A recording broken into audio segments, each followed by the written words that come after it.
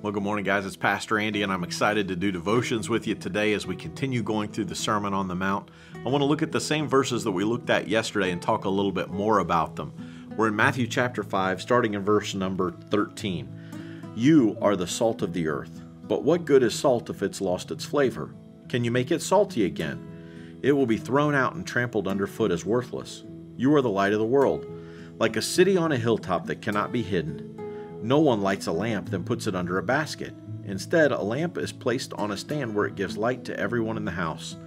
In the same way, let your good deeds shine out for all to see, so that everyone will praise your heavenly Father. When we read this, it talks about our salt and light being public things for people to see. Why? So that they bring glory to God, so that they will see our Father in heaven. So Jesus just finishes telling us that we're supposed to be the light of the world. But then if you go on to Matthew chapter 6, the first couple of verses, Matthew 6, say this Watch out. Don't do your good deeds publicly to be admired by others, for you will lose the reward from your heavenly Father. When you give to someone in need, don't do it as the hypocrites do, blowing trumpets in the synagogues and streets to call attention to their acts of charity. I tell you the truth that they receive all the reward they will ever get. But when you give to someone in need, don't let your left hand know what your right hand is doing. Give your gifts in private, and your Father who sees everything will reward you. Jesus says the same thing about prayer in verse 5. Don't be like the hypocrites who love to pray publicly on street corners and in the synagogues. And he says, Don't when you pray, don't babble on as the Gentiles do in verse 7.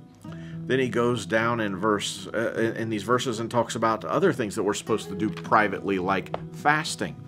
So he says, do this publicly so people will see and glorify God. Do this privately uh, because no one needs to know about it. So it looks like Jesus is endorsing here in, in Matthew 5 this kind of a display, this, this religious display for people to see. Do light, be salt, uh, so that people will see it.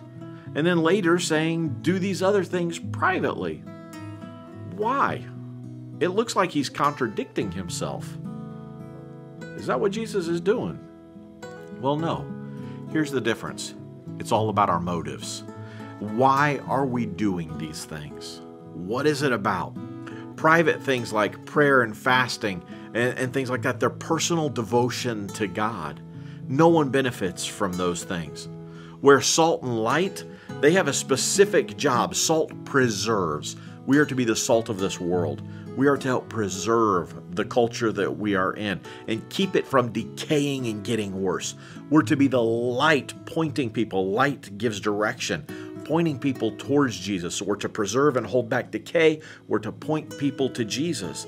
This helps our community see Jesus. And that's what he's saying to do publicly so that we keep that decay from getting worse, so that we point people towards Christ. The bottom line of the whole thing is if if the act that I am about to do will result in my benefit or will bring me glory, I need to do it in private. But if the act that I'm doing is for the benefit of others and God will get the glory, then don't hide it. You see, the problem is too many people today want to do everything so that everyone else will see. We want to give so that people know about it. We want to be in front of people because we want people to see us.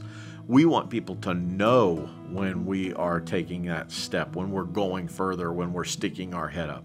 And here's the problem all that does is bring glory to us. And I think many times God looks down and He says, Boy, did you miss the whole point.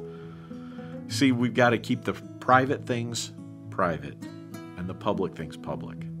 What am I to do publicly? I am to hold back the decay in my culture and point people to Jesus. What do I do privately? I do privately. My prayer time is private. My fasting is private. Sometimes helping others in need, we're supposed to do that privately as a person and an individual. So, is it going to give glory to me? Then I need to keep it private. If it's going to bring glory to God and point people towards Jesus, then let's shine the light on it. Because the world's not getting any better, and Jesus could come back at any point. So let's be the salt and the light in our communities. I hope you get in God's Word and see what He has for you today. And until tomorrow, God bless you and have a great day.